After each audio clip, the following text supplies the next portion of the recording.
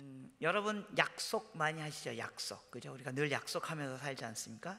약속할 때 예, 주의할 점이 있습니다. 뭡니까? 약속할 만한 사람하고 해야 됩니다. 네.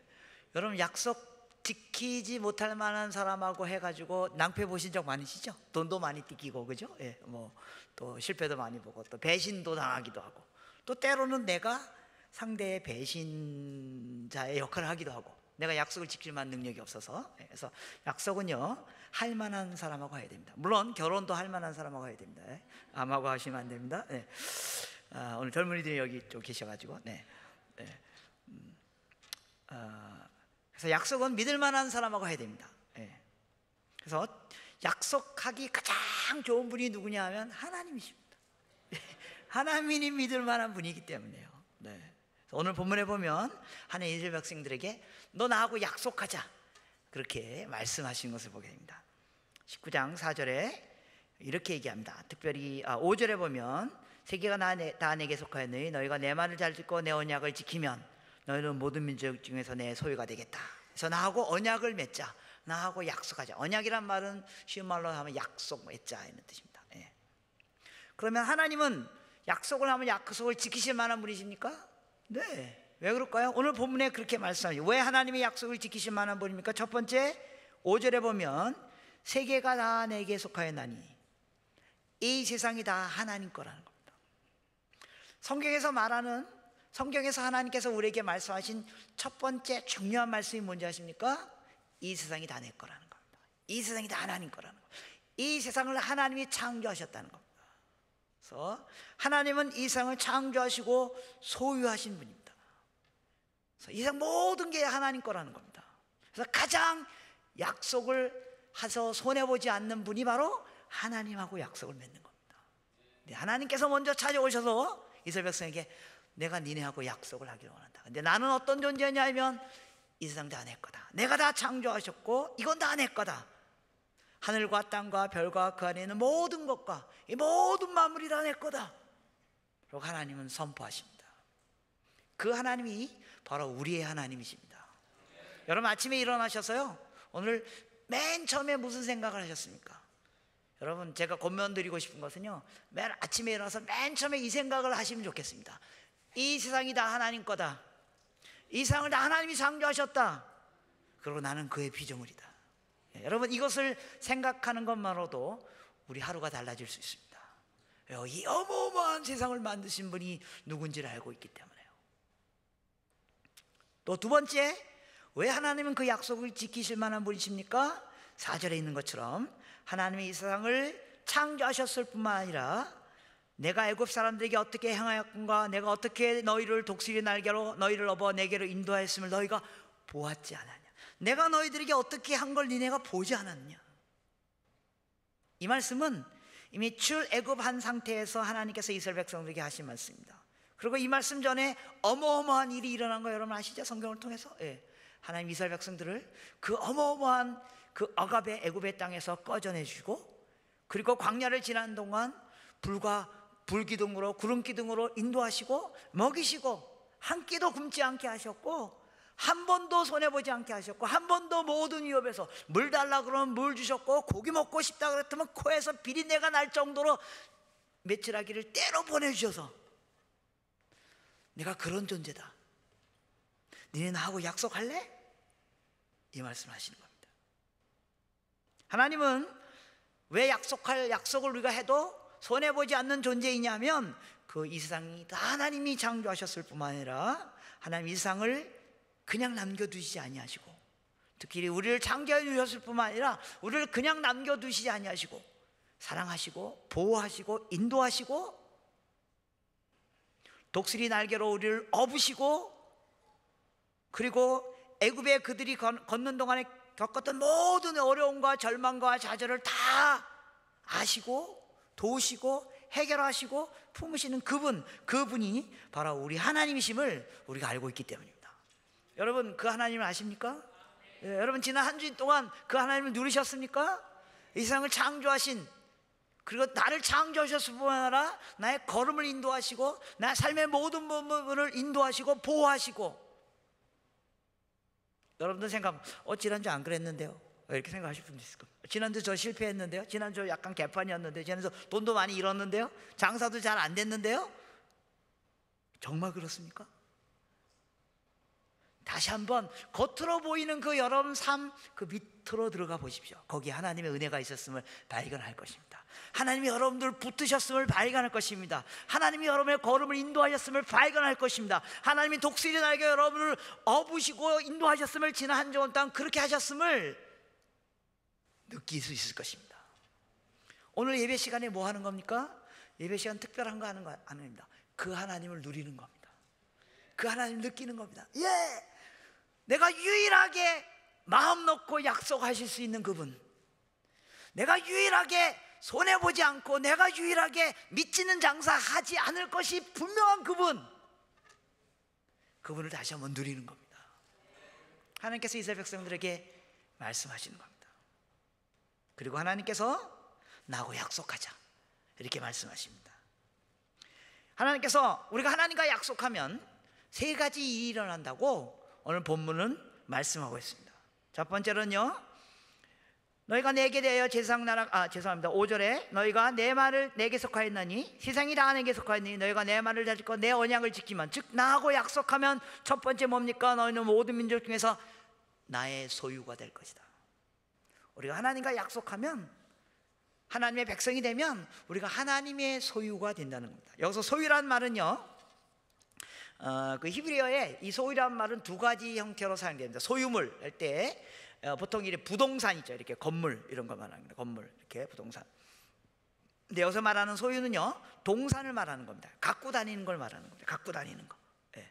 그래서 금은 보석을 말하는 겁니다. 금은 보석을 소유했다. 그럴 때 사용하는 단어입니다. 여러분 금은 보석은 뭐 하는 데 쓰는 거죠? 잘 모르시죠? 예, 제가 잘 모르실 것 같습니다. 예, 예, 여러분 보니까 잘 모를 것 같아요. 금은보석은요, 금고에 넣어두는 게 아닙니다. 금은보석은요, 몸에 붙이고 다니는 겁니다. 그래서 제가 여러분들이 금은보석 없는지 알 것 같아요. 예, 몸에 붙이고 다니신 분들이 거의 없으신데, 예. 금은보석은 금고에 넣어두는 게 아닙니다. 금은보석 몸에 붙이고 다니는 하나님이 우리를 어떻게 하시겠다고 하나님 몸에 붙이고 다니는 그런 소유물로 만들어 주시겠다는 우리가 하나님의 소, 하나님과 약속하면 하나님의 백성이 되면 하나님의 소유가 된다. 여기 여러분 이게 무슨 말인 줄 아십니까? 여러분 소유하는 것도 좋지만요. 소유가 되는 것은 더 좋은 일입니다. 내가 뭘 소유하는 것도 좋지만 내가 누구의 소유물이 되는 것은 근데 그 누구가 누구인지를 알 때, 그 누구가 하나님인지를 알 때 하나님의 소유물이 된다는 것은 너무나 즐거운 일입니다. 여러분 소유하려고 하면요.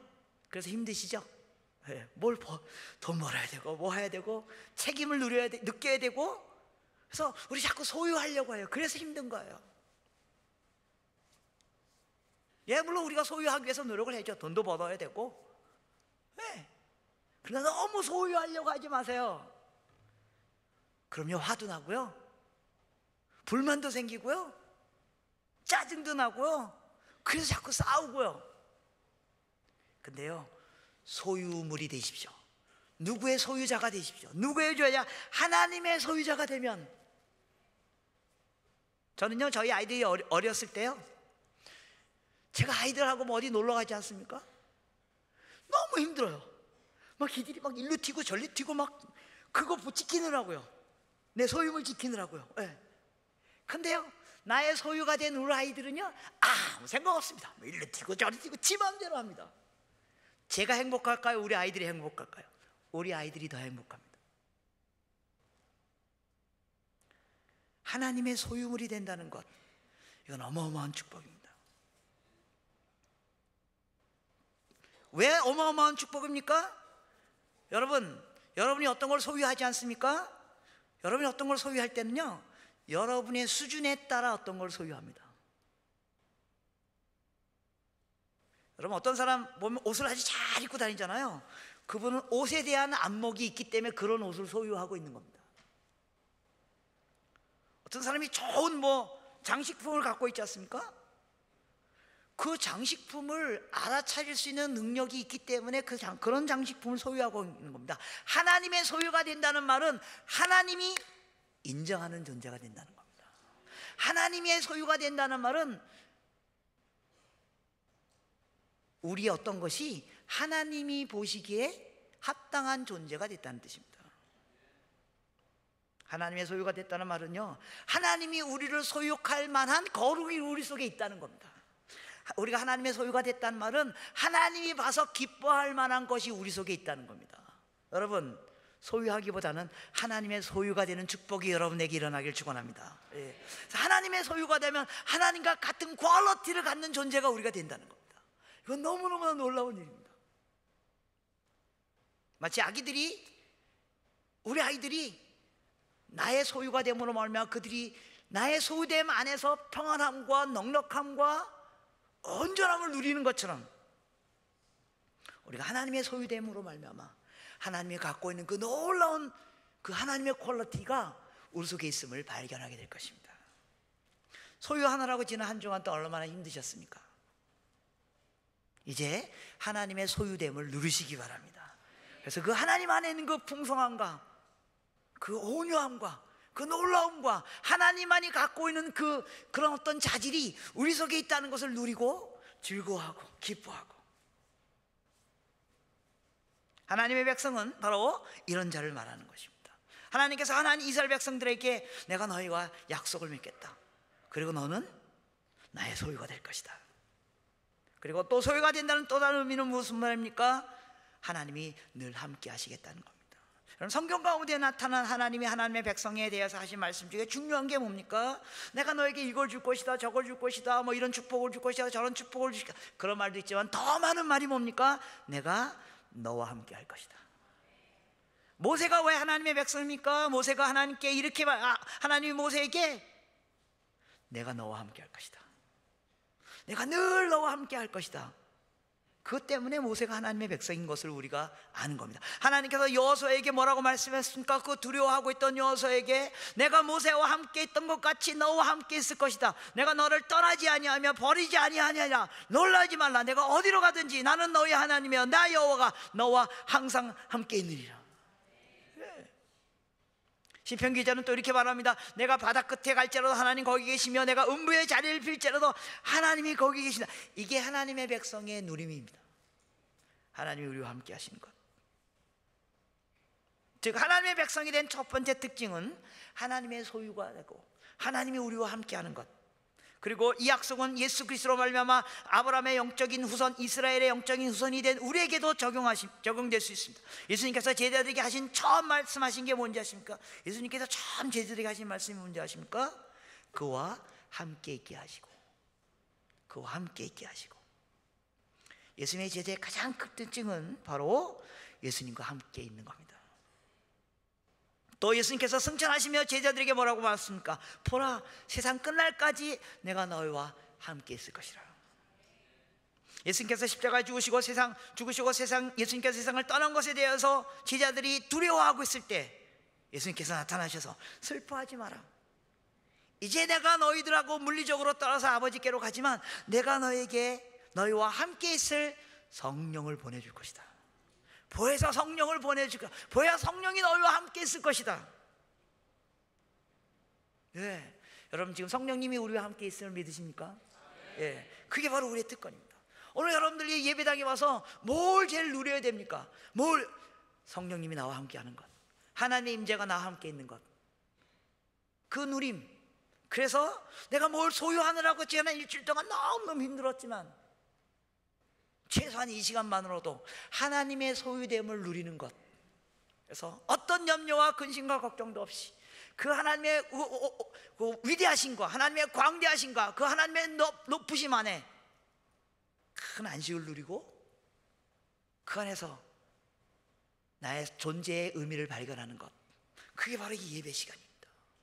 오늘 예배를 통하여 이 하나님의 소유됨의 누림이 여러분 가운데 있기를 축원합니다.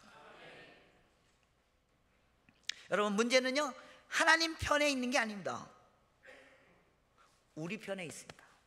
하나님 늘 우리와 함께 하기를 원하지만 우리가 그분과 함께 있기를 거부하고 있기 때문입니다. 하나님과 함께하는 인생은 결코 실패할 수 없습니다. 그 여정에서 잠시 실패하는 것처럼 보일 수 있습니다. 그러나 결코 하나님과 함께하는 인생은 하나님의 소유된 백성의 인생은 결코 승리하게, 승리하게 될 것입니다. 이 승리가 우리에게 있음을 오늘 말씀이 우리에게 선포하는 것입니다. 우리가 하나님의 백성으로서 가져야 할 첫 번째 의식은 바로 우리가 하나님의 소유인데 보통 소유가 아니라 특별한 소유물이 됐다는 겁니다. 특별한 소유물이 됐다는 것입니다. 그런데요, 하나님의 이런 특별한 소유물이 된 자들에게 하나님이 기대하는 것이 있습니다. 그것이 무엇입니까? 5절에 세계가 다 내게 속하였나니 너희가 내 말을 잘 듣고 내 언약을 지키면 너희는 모든 민족 중에서 내 소유가 되겠고 그 대신 너네가 할 일이 있다는 겁니다. 뭡니까? 6절에 너희는 내게 대하여 제사장 나라가 되며 거룩한 백성이다. 내가 너를 나의 소유로 삼아 줄 테니까 그 대신 너네가 할 일이 있다. 그것은 바로 제사장의 역할을 해다. 내가 너를 특별한 소유물로 삼아 줬기 때문에 내가 너에게 특별한 일을 이룰 것이다. 그 특별한 일은 뭐냐면 너희가 나의 제사장이 되어서 나의 존재를 모든 민족이 알게 하는 그 일을 너희가 이루어 달라는 것입니다. 즉 하나님께서 이스라엘 백성을 자신의 특별한 소유라 소유의 백성으로 삼으신 것은 바로 하나님의 이 특별하심이 이스라엘 백성에만 머물러 있는 것이 아니라 그들이 이제 제사장 나라가 되어져서 이 하나님의 특별하심이 모든 민족에까지 모든 땅까지 선포되어지는 그 일을 위하여 하나님 이스라엘 백성을 하나님의 특별한 존재로 부르셨다는 것입니다. 우리가 일부 예배 때 말씀드렸던 것처럼 혹 여러분이 이미 알고 있는 것처럼 창세기 12장 1절부터 3절의 말씀에 하나님께서 이스라엘 백성을 하나님의 백성을 부르십니다. 그 첫 번째 부른 백성이 바로 아브라함입니다. 아브라함으로 말미암아 이스라엘 백성 하나님의 백성이 만들어졌고 그리고 구약 시대 그 이스라엘 백성이 뭐예요? 신약 시대 바로 우리가 바로 그 하나님의 백성이에요. 하나님께서 아브라함에게 뭐라고 말합니까? 내가 너에게 복을 줄 것이다. 오늘 주력께서 하나님께서 이스라엘 백성에게 내가 너를 특별한 존재로 만들어 줄 것이다. 똑같은 내용입니다. 창세기 12장에 하나님께서 아브라함에게 내가 복을 줄 것이다.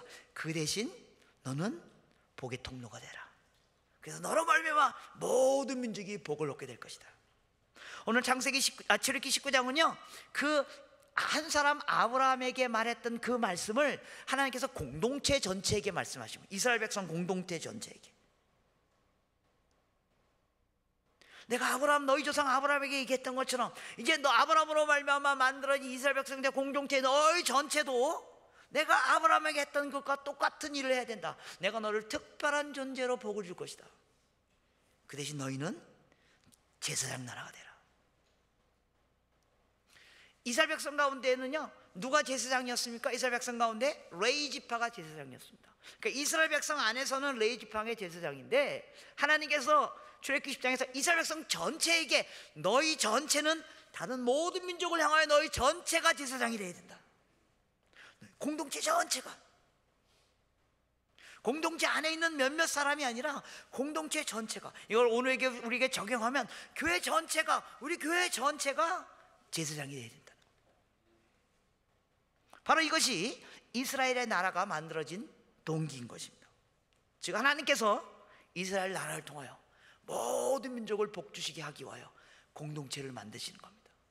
한 개인 아브라함으로부터 출발했던 그 공동체. 그래서 아브라함이 모든 민족의 복이 될 뿐만 아니라 그 아브라함으로 말미암아 만들어진 공동체. 오늘 말하면 이 교회 공동체 전체가 모든 민족이 하나님께로 복을 받는 복의 제사장의 역할을 해야만 한다는 것입니다.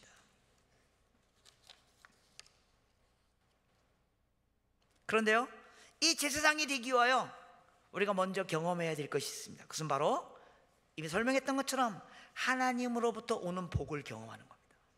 하나님으로부터 오는 경험.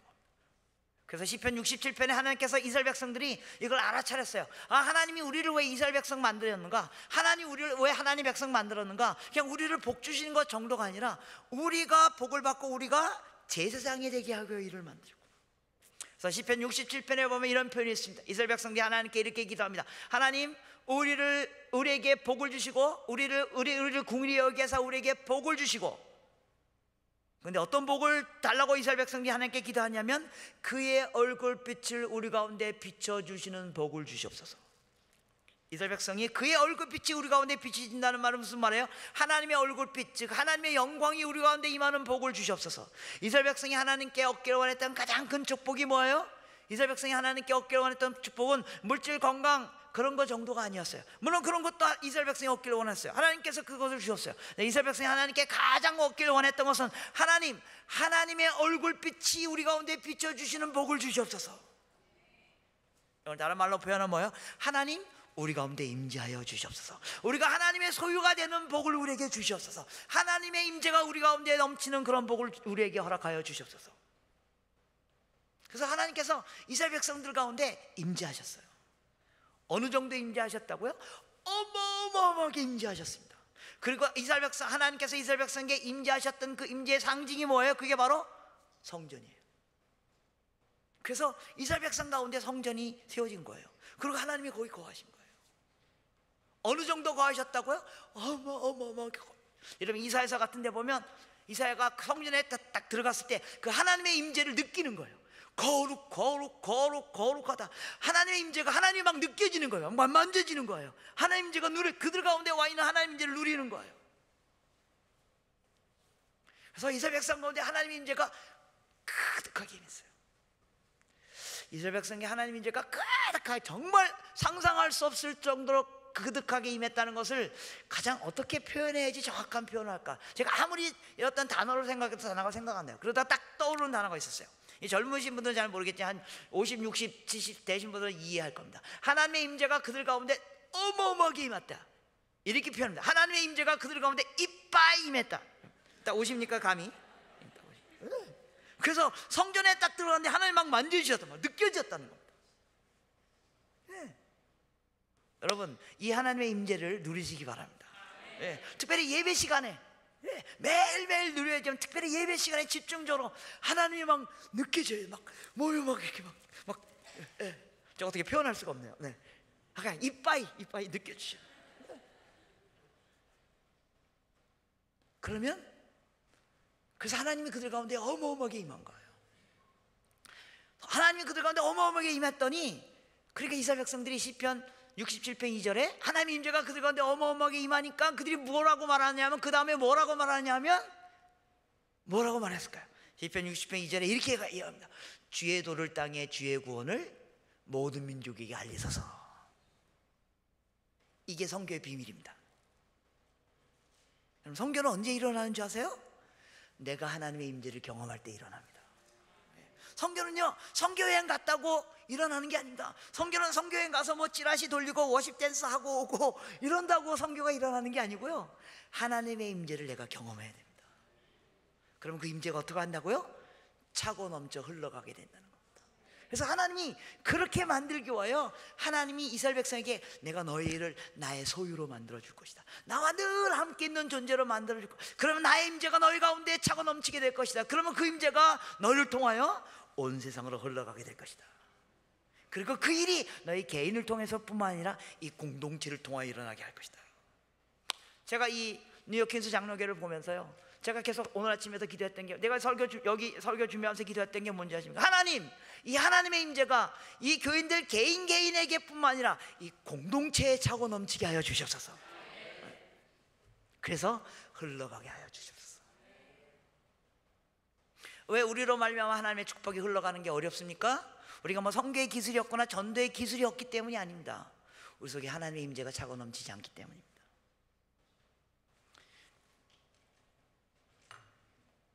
이게 컵입니다. 하나님이 하나님의 임재를 우리에게 부어 주십니다. 그리고 하나님은 우리 가운데 있는 하나님의 임재가 우리로 말미암아 온 땅에까지 흘러가는 제사장이 되게 하기를 원하신다는 겁니다. 근데 저와 여러분의 문제가 뭐예요? 저 여러분의 문제는 뭐냐, 뭐냐면요. 우리 가운데 하나님의 임재가 부어지는데 우리 가운데 있는 하나님 임재가 요만큼밖에 없다는 겁니다. 그래서 이게 온 땅으로 갈래니까 너무 어려운 거예요. 이게 이웃으로 갈래니까 너무 이게 내 가족으로 갈래니까 너무 어려운 거예요. 예를 들면 이게 컵이고 이 안에 있는 물이 하나님의 임재라고 칩시다. 제가 전도사님한테 미리 얘기해서 이 물을 조금만 담아달라 그러는데 아직까지 여전히 있군요. 제가 좀 더 먹겠습니다. 저 여러분의 문제는요. 내 속에 하나님의 임재가 요만큼밖에 없어요. 이걸 우리가 퍼내려 그래요. 그래서 뭐 전도도 하고 뭐 사역도 하고 뭐 그러니까 어떻게 돼요? 요만큼밖에 없으니까 이게 안 나와요. 그래서 어떻게 그래서 흔드는 거예요. 흔들어도 안 나와요. 그래 막 뒤집어요. 그래야지만 몇 방울 떨어져요. 여러분 왜 신앙생활이 힘드신지 아세요? 흔들어서 그래요. 흔들지 마세요. 가만히 있어도 하나님의 영광 임재가 여러분을 통하여 온 세상까지 흘러갈 수 있습니다. 어떨 때요? 차고 넘칠 때요. 그걸 위하여 하나님이 여러분을 하나님의 소유로 삼아 주시겠다는 겁니다. 하나님의 소유됨을 누리십시오. 네. 특별히 주일날 다른 생각 하지 마세요. 다른 거 다 잊어버리세요. 그냥 하나님만 누리세요. 주일날 교회 와서 어우 저 집사 어우 저, 그런 생각 다른 집사 쳐다볼 생각 시간이 없습니다. 아우 저 장만 아우 쟤는 왜 옷을 저렇게 입고 왔어? 어우 그거 그거 볼 시간이 없어요. 하나님의 소유됨을 누리는 것만 해도 시간이 너무 부족해요. 왜요? 너무 너무나 풍성하신 하나님이기 때문에요. 네. 그러면요 차고 넘치면 흘러갑니다. 차고 넘치면 흘러갑니다. 네. 그래서 하나님이 여러분을 통하여 제사장 나라가 되길 원하시는 것입니다. 세 번째는 뭡니까? 그러기 위해서 하나님께서 또 한 가지 말씀하신 것입니다. 복이 너희 가운데 차고 넘쳐야 된다. 나의 소유물이 되어야 된다. 그 다음에 또 한 것이 뭡니까? 너희가 거룩한 백성이 되어야 된다. 하나님이 갖고 있는 자질 중에 한 가지만 딱 꼽으라면 하나님이 갖고 있는 능력은 뭐 전능하시고 전지하시고 뭐 사랑이 많은 끝이 없으시고 하나님이 갖고 있는 그 하나님의 어떤 quality 제일 중요한 quality는 바로 거룩입니다. 거룩. 네. 너희가 제사장이 되려면 테크닉이 아니다. 너희가 제사장이 너희가 전도 잘하려면 선교 잘하려면 테크닉이 아니다. 거룩이다. 거룩. 성경에서 말하는 거룩은 단지 주일 아침 예배를 드리는 사람들에게 충만하게 퍼져오는 나른한 어떤 느낌 이런 걸 말하는 것이 아닙니다. 거룩이란 말은 온전함을 말하는 겁니다. 온전함. 그래서 사실 성경이 우리에게 요구하는 거룩은 어떤 거예요? 너희 삶이 거룩이 되게 하라. 너희 삶이 예배가 되게 하라. 물론 주일날 와서 하나님께 예배를 드리고 하나님의 임재를 누리는 일도 매우 중요합니다. 동시에 하나님 우리에게 요구하는 것은 너의 삶을 예배로 드려라. 너의 삶이 거룩이 되어야 된다. 우리의 삶이 거룩이 되지 않으면 우리가 전달하려고 하는 복음은 전달되지 않습니다. 그래서 이스라엘 백성들에게 하나님께서 요구했던 거 너희가 제사장이 되라 그래 내가 너를 통하여 나의 이 축복이 온 땅까지 흘러가게 되기를 원한다 그러나 그렇게 하기 위해서 가장 중요한 조건은 너희가 거룩해져야만 한다. 예배가 거룩해져야 될 뿐만 아니라 오늘 제가 찬양 어, 너무 마음에 와닿았어요. 우리 예배가 회복되게 하여 주셔서 예, 우리가 예배를 통하여 우리의 거룩이 회복되어지는 것 그리고 한 걸음 더 나아서 우리의 삶이 거룩하여져서 우리 삶이 또 예배가 되는 것 우리가 예배가 회복되어져서 우리 예배가 거룩해야 되는 일은 오늘 우리가 해야 할 일입니다. 그러나 나머지 오늘부터 토요일까지 여러분들이 해야 할 일은 여러분의 삶이 거룩이 되어져서 삶이 예배가 되는 일을 여러분들이 하셔야 되는 겁니다. 여러분 프란시스 사비아라는 유명한 그 성자가 있지 않습니까? 그분이 왜 우리가 다 존경하는 성자입니까? 그분이 이런 말을 했습니다. Preach the gospel all the time. 항상 복음을 전하십시오. 그것 때문에 그분이 성자면 저도 성자입니다. 맨날 복음을 전하십시오. 하는 제가 하는 말이거니까요. 네, 그분이 성자인 이유는 Preach the gospel all time. 항상 복음을 전하십시오. But if necessary, use the words. 필요할 때만 말을 사용하십시오. 복음은 말로 전달되는 게 아닙니다.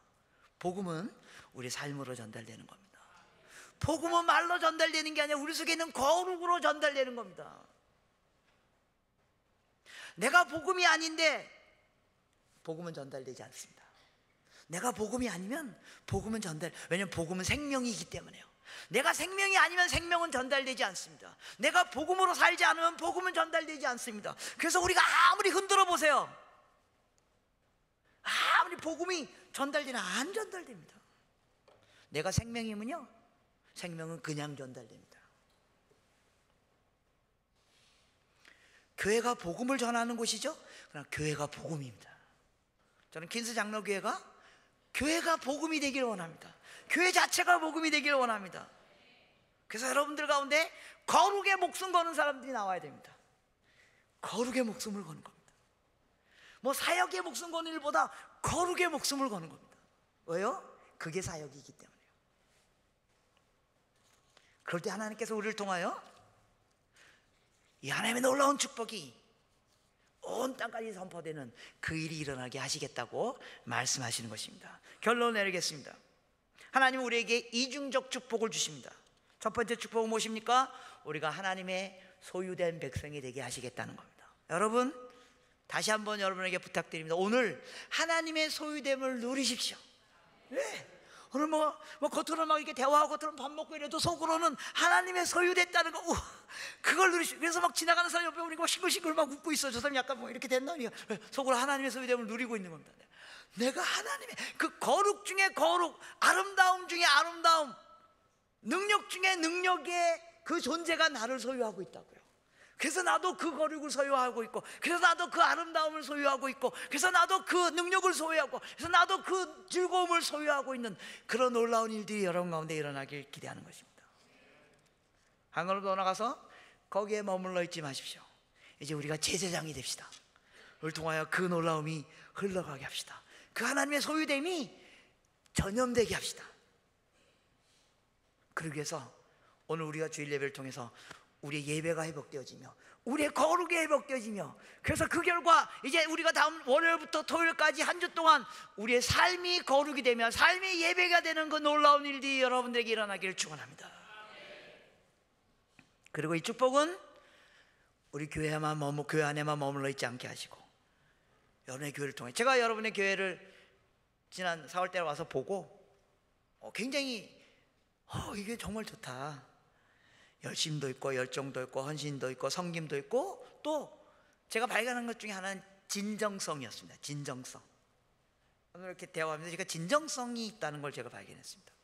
뭐 이렇게 하나 하더라도 대화를 하더라도 예, 하나님이 여러분의 개인뿐만 아니라 공동체를 놀랍게 축복하셨음을 믿으시기 바랍니다. 이제 이 공동체적 축복이 여러분 공동체만 머물러 있지 않게 하시고 이제 여러분을 통하여 여러분이 거룩의 통로가 되어져서 여러분이 예배의 통로가 되어서 여러분의 복의 통로가 되어서 모든 민족들이 온 세상이 여러분을 말미암아 하나님의 소유가 되는 그런 놀라운 역사가 긴스 장례를 통해 일어나기를 축원합니다.